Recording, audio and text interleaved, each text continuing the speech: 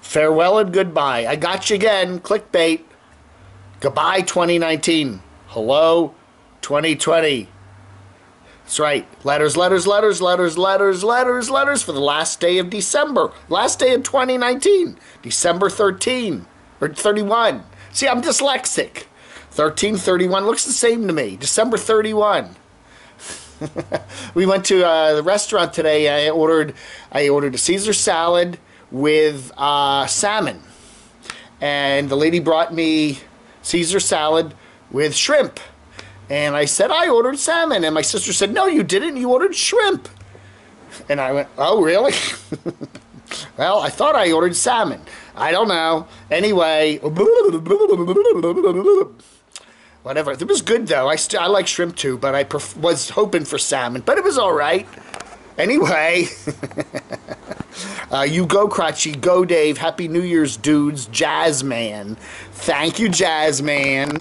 Uh, T-Manic 2 says, Dave, the fact that my sweet little girl Phoebe just passed, I can relate to this person losing their pet. I shocked myself and rescued a dog from a local shelter. Not sure if I should have got one so quickly. Good job, Dave. Happy New Year. I really am a, you know, I, I really think that there is nothing wrong with going out right away and getting another cat or a dog if you've lost or you know your dog or cat has passed on this year. There's nothing wrong with that. It doesn't mean you loved her you know your dog. Or, you don't need a period of mourning you know but go out and use that energy and put it to a put it to good use with another lonely pet. You know go to the shelter okay? Some pet that's been rejected or lost or whatever i think that's a great thing. Use that love as you know, you're given a certain amount of love. It's not like Reverend Dave. You're given a certain amount of love and put it to good use, you know. And okay, you need to mourn your pet for a couple days, sure. Maybe not the very next day, but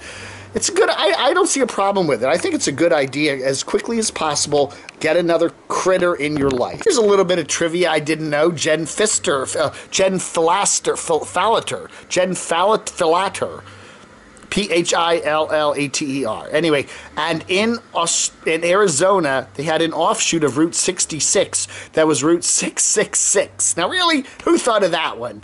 Route 666. People were always stealing the signs, and some merchants didn't want it as an address, so they renamed it uh, about 2000. Route, yeah, I can. I that's not a surprise to me. RV Camp Her writes in 2019 at the 2019 RTR only Bob was allowed to sell anything. Because it was on BLM land people can't sell merch but Bob had I guess some sort of special permission. That's from uh, I, I, don't know man. I don't know.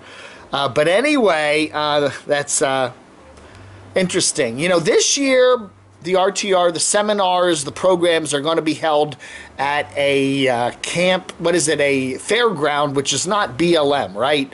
So Bob said he spent close to 15K, I guess, renting that fairground space for those two weeks or so.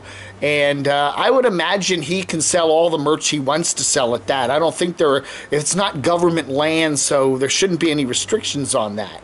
I don't know. And then maybe, you know, why, why doesn't he lease some booths out to other people selling merch, you know? I mean, that's a good way of making some money. You want to put a table out for a couple days, you know, I don't know. I think that would be a better way of getting back the $15,000 that he allegedly spent on the RTR than, uh, you know, trying to make people pay $5 a pop, which is, you know, I, I don't know. I guess you can try and ask.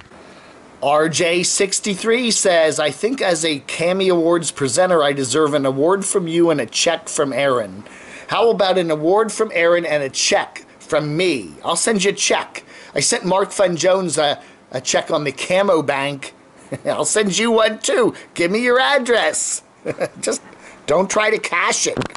Ninth Element Adventure Van Life says I should not shave the beard. Leave the beard on. It makes you look like a nomad if that's what you are aiming for. Winning! That's right. I want to look like a nomad. Yeah. I, yeah, I, if I can't be one, I can sure look like one, can I? Rossana says I should first shave everything off, then try a full beard. Why not? Uh, always keep the beard very short, though. Even uh, and well trimmed shape. That will give your face a tighter, slimmer, and more handsome character and appearance. Uh, yeah, you know, I used to have a full beard. I did. I did. I liked it. I did like it. I don't know, but and it was pretty long too. All right, some pictures of Dave before the beard. ah, this is high school. you don't want me to shave that beard off. And then I looked like this. yes, I did. For many years, full beard there. And uh, this one too. Yep. Wow. Anyway, oh yeah. I, I yeah. It's gotten a little grayer since then, don't you think? I don't know, man. Hey, finally, goodbye to 2019. Good year for me. I hope it was a good year for you. We're on to 2020. Lots of cool things. So uh, I will I will not be doing a video in the morning because I will probably be on the road heading south. However, I do have a video in the can that I'll probably upload in the morning. So uh, you know, stay tuned for that. All right. And I want you wish you all a very very very happy New Year. And I thank you all for being here on the site and uh, on my channel and all that. What, what did I say? My channel. Be here for on my channel. Thank you so much and I miss Evie Nova. Vlog under.